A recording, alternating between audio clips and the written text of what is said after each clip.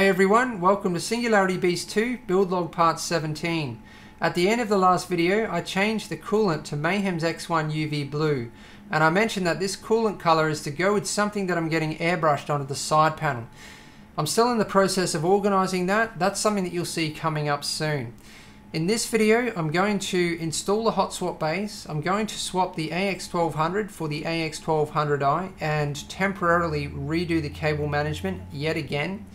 I'm going to install part of the lighting and I also have a massive surprise for you. So I'm now going to get started with a look at the hot swap bays that I've chosen for this build. Okay, when choosing these hot swap bays, brands didn't matter to me. All I was looking for was a quad 3.5 inch and a quad 2.5 inch. I wanted them to be all black, have an overall clean aesthetic to match up with the build. SATA 3, preferably trayless because it's a lot more convenient decent quality, of course, and I also wanted them to be silent. So either no fans or the ability to switch the fans on and off or at least high or low. So what I ended up with is a an iStar USA BPNDE series quad 3.5 inch. It fits into three 5.25 inch bays and an ICY DOCK quad 2.5 inch that fits into a single 5.25 inch bay. So I'm really happy with the aesthetics of both. The BPNDE series is brushed aluminium all over and it looks like it has a good clear coat over the top of it. You can see the silver accents in the front. I think that's going to look great in the front of the build. That's actually ventilation through the front there. It's trayless, it's lockable, it has activity LEDs down the right hand side there. It's actually upside down at the moment. You can see the back plane in there. And looking at the back, it does have an 80 millimeter fan, which is not so good. I would have preferred a 120 millimeter fan, but I can still replace this for something more silent. It does have a high-low switch, but I have tested it and it's still a little bit loud. It also has a on-off switch over there for the activity LEDs and you can see two SATA power connectors and four SATA data connectors. And it's also SATA 3. I'm just going to give you the model numbers of both of these. So the model number for the ICY DOCK and the model number for the iStar USA, just in case you're interested. So now for a look at the ICY DOCK Quad 2.5 inch. So this is also SATA 3. It's designed for SSDs and hard drives. It has activity lights in the front, plenty of ventilation in the front as you can see. It's not trayless, but that's not really a problem. Just four bolts to install the drive. They actually slide in from the side of the caddy. It has a black powder coat all over and I'm pretty sure this is steel whereas the the iStar USA is all aluminium and plastic. Just a quick look at the inside and now looking from around the back. So you can see it has two 50 millimeter fans and these are probably going to be fairly loud and annoying the good thing is there's an on-off switch and because I'm running SSDs, I'm just going to leave the fans off 24-7. Single Molex for power and 4 SATA data. It's now time to swap over the power supply to the AX1200i. Unfortunately, I can't use the cables from the AX1200. So I'm going to have to redo the cable management completely and there's a lot of work in that. This is temporary cable management.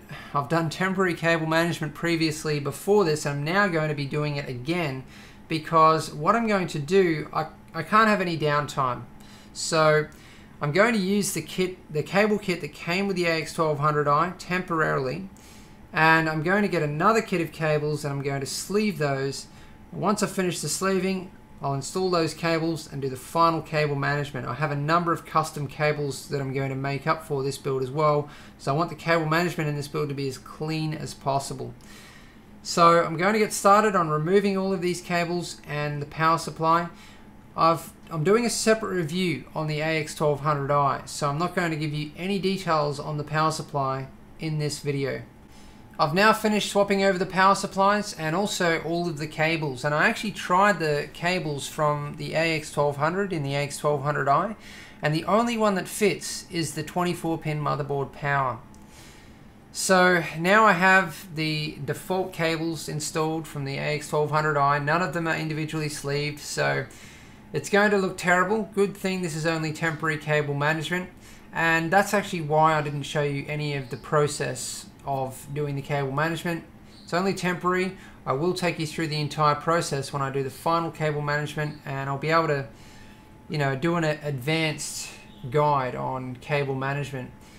I'm also going to, you know, customize all the cables, sleeve them, and not just the power supply cables, but I'm going to make up custom cables for the the hot swap bays and the hard drive cages and the fans everything. You know it's going to be incredibly clean. I'm looking forward to perfecting the aesthetics around the back of the build you know as well as around the front of the build.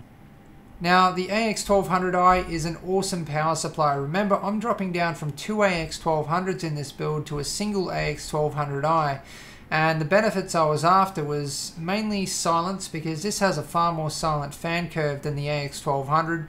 The fan doesn't even kick in until the power supply reaches 30% of load. And I've built this entire system for silence. I have silent fans. I've set up the Aquaero to spin the fans right down to nothing at idle.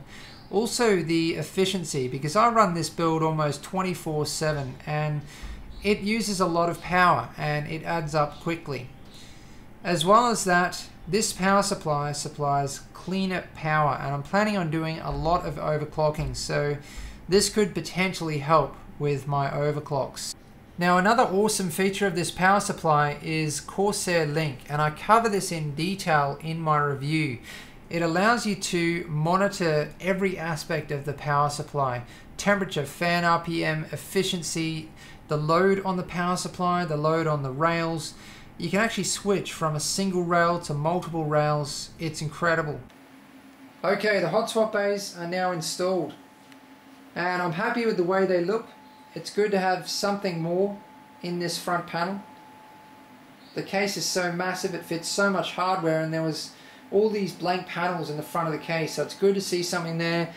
They're definitely going to come in handy as well. And I'm, I'm glad I picked these. They look good. They match up with the case nicely. Looks good on the inside too. It fills in the blank space. You know, there used to be this big blank space right through here in the build. You have to remember that the side panel window comes into here. So you're not going to see any of this anyway. You know, this is the 5.25 inch bay area. It's always, you know, in most builds it's always messy. But I think it looks pretty clean, mainly because the two hot swap bays are completely black Anyway, they look good. I haven't connected them up yet because I'm going to connect them up when I do the final cable management in this build and I'm going to make up custom cables for both of them because the cables are pretty much in, in view and they need to obviously be as clean as possible. Now I might actually flip this hot swap bay over so that, because here's all the connections here, it would be great if they were on the other side. So if it's possible, I will turn it upside down you know, if I did that, it wouldn't actually look too bad from the front because there's not really any way of knowing except for these, you know, padlocks here that, that it's upside down. It's going to look cleaner from the inside if I do that. That's what's really important. So I installed it kind of in the middle between the radiator here and this fitting. You know, I could have brought it down and to the next bay, but it would have almost touched the fitting. I also could have brought it up one, but then it would have kind of blocked the airflow, so it's a good spot for it. So just a quick look around the temporary cable management. Yes, it looks terrible. Good thing it's only for a short time. So I've put LEDs in the CPU and memory water blocks. These are ModSmart 3mm white LEDs and they're all sleeved. I'm actually thinking of using non-sleeved LEDs because it's added a lot of extra cable bulk and when they're not sleeved you can actually push the wiring down along the PCB of the motherboard and hide it a lot better. It can be almost completely out of sight, so I might do that. But I am really happy with the way this looks. It's great having this water block and crystal link configuration lit up because it is the heart of the build. In combination with these white LEDs, I'm going to use UV lighting around the rest of the build. I'm going to install that in the next part of the build log, so you'll see that coming up. Now in part 16 of this build log I talked about a problem that I've had with my tubing staining. I also talked about tubing clouding and leaching plasticizer so if you haven't already checked out part 16 go back and check it out for all of the details. Now in part 16 I didn't really confidently confirm what was causing this problem but I did talk about the fact that I had run Feser Red UV coolant in some of these components for over six months including the radiators. And if you think about it, it's fairly obvious. All of the other components in this loop are transparent and I can see that they're not stained. Obviously, the staining must be in the radiators. The the copper on the inside of the radiators must be porous enough to you know hold dye. I'm not talking about the dye building up in the radiators and clogging them. I'm talking about it soaking into the, the material in the radiators over a long period of time. You know, six months is more than enough time. And now it is slowly leaching out again. And, you know, it's only staining the tubing because the tubing is the softest, the least dense material in the loop. So what I'm going to do is take you through the process of fixing this problem. Usually, from my experience, flushing the loop with distilled water is more than enough to remove staining. I'm not talking about a quick flush, I'm talking about running distilled water for a few days, but I've done that a number of times with this loop. I've changed coolants, I've changed tubing, and still the staining is hanging around. So when you get staining that's difficult to remove, there's a number of products you can use. Vinegar, isopropyl alcohol, and bleach is a few that I've heard of. So I'm going to try one of these. I'm not sure which one yet. I'm not going to run it through the entire loop. I'm only going to run it through the radiators and hopefully it will fix this problem. I'll take you through the entire process and hopefully I can put some good information out there about removing staining. So I'm going to cover that in the next part of the build log. Now remember what all of this is about the entire purpose of my videos is bringing to you information. So with my own systems, I'm constantly testing and experimenting, and that's what this process has been. It's just another opportunity to bring to you some more information. Singularity Beast 2 is at last getting a graphics upgrade. I'm replacing the GTX 580 3GB editions with a couple of MSI GTX 680 Lightnings. And these things are incredible. They have a custom designed PCB specifically for overclocking. The power delivery components have been beefed up. They have a 12 phase digital power design and you can see how much wider the PCB is to fit all of these extra power delivery components.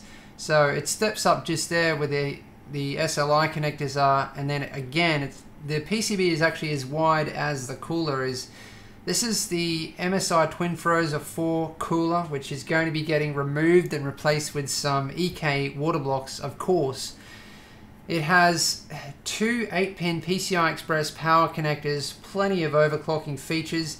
The best thing about it is that all of the overclocking restrictions of the GTX 680, you know, which are actually absolutely hated. I can't believe that NVIDIA did that.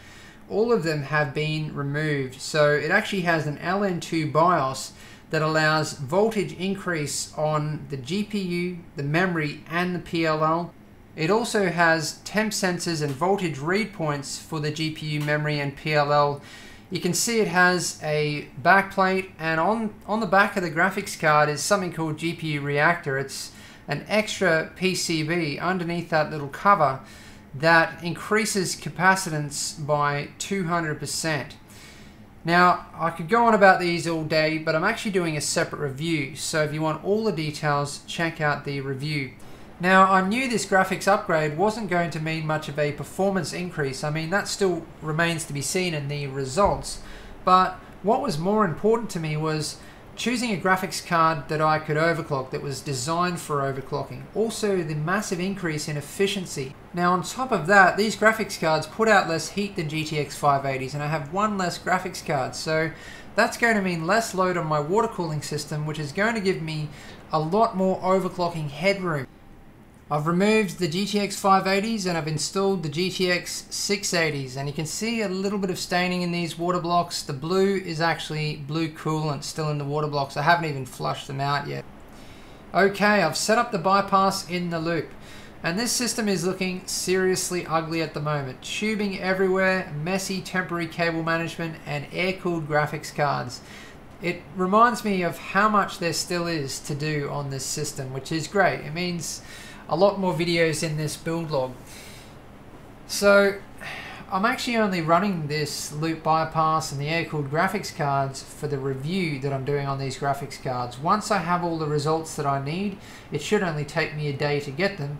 I'll remove the graphics cards again, put the water blocks on them, reinstall them, and then hook up the loop properly again. And I actually have some plans for the loop. Like I'm going to take the opportunity to replace all of the bad tubing, to flush out the loop, fix the problem with the dye, and I'm going to make some little changes and tweaks to the loop as well, which I'm pretty excited about, but that's all going to be in the next part of the build log. Now you might have noticed that I'm actually booting the system at the same time as I'm filling it, and the only reason I'm doing things this way is because the loop was already three quarters full, and also because I've already leak tested this system except for the two connections that I had to undo. Now, if, if I ever end up doing things like this, I take the system into the BIOS and I watch the temperatures in the BIOS. But, you know, when idling, it's never a problem. Problems can arise when doing this if you don't have enough coolant flowing through the water blocks. The system will heat up really fast. So here it is all up and running, my temporary review setup for the MSI GTX 680 Lightning graphics cards. And actually the EK water blocks arrived earlier, so I'm going to give you a look at those shortly.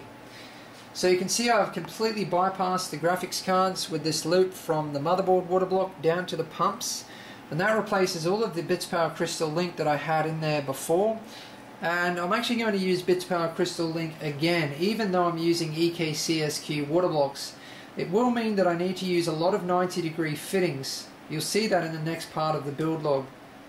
I can tell you these graphics cards even look awesome in here despite the fact that they're air cooled and what I love the most about these EK water blocks is that they work with the stock backplates and the GPU reactor so the backs of these graphics cards are going to stay the same even when I install the water blocks I'm so happy about that because they they match up with the build so well you know the the blue LEDs go with the color scheme and the theme of this build perfectly you can see the GPU reactor on both of the graphics cards has blue LEDs in it. The fans also have blue LEDs. They're obviously going to be removed though. And there's also a number of LEDs on the back of the PCB. These three, I think, show the voltage levels of the GPU memory and PLL, and there's 12 next to that that show the activity of the power phases, so they light up depending on the load of the graphics card. Now I'm going to cover some comparative performance results between the Tri-SLI GTX 580 3GB configuration and the SLI GTX 680 MSI Lightning editions.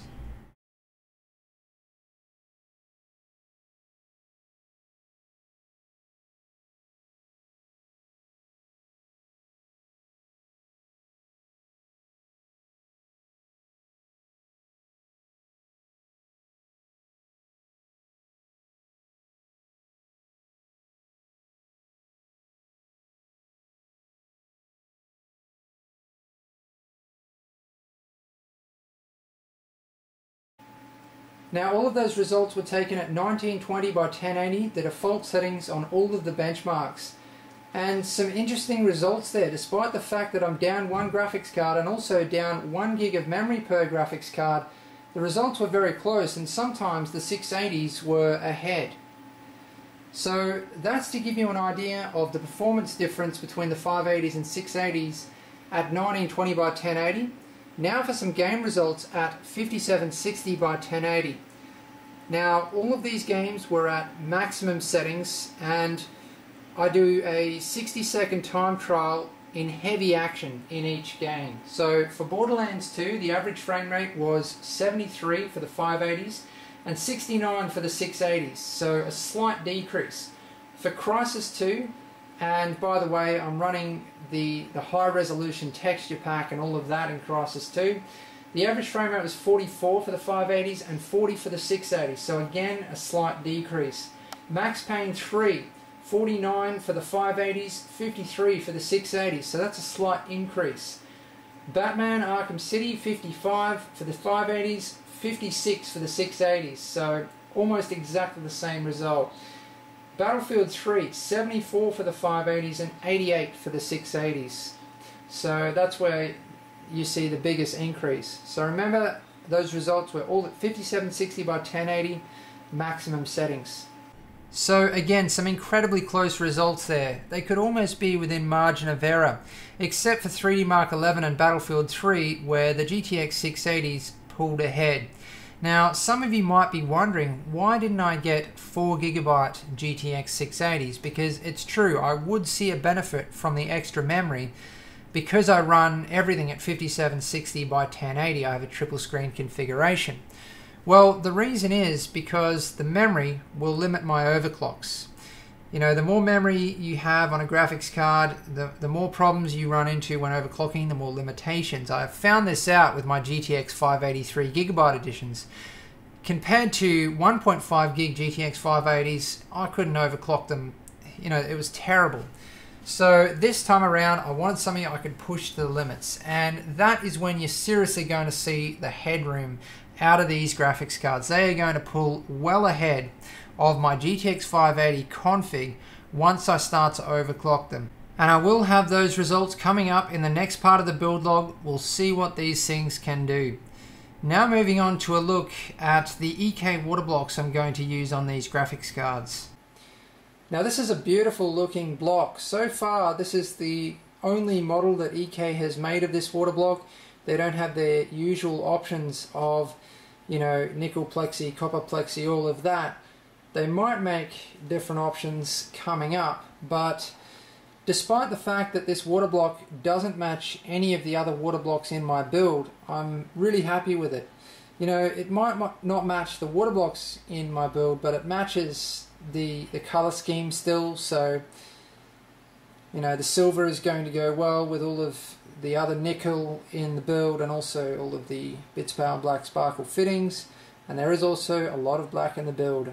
I really like the CSQ design on this block.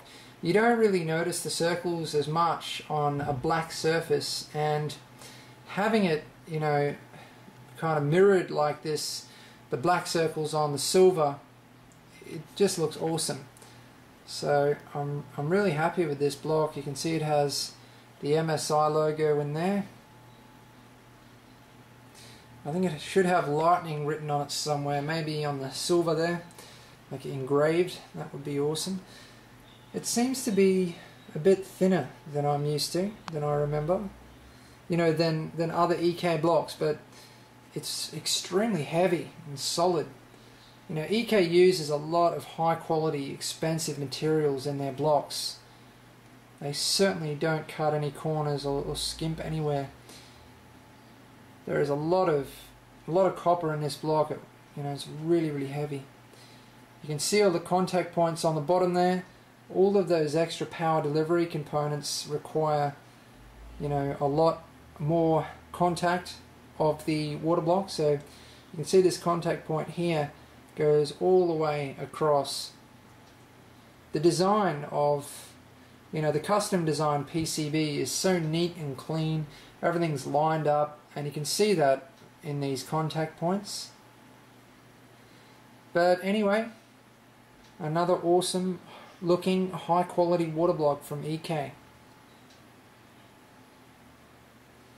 And I'm really happy with it. I'm very excited to see these water blocks on the graphics cards.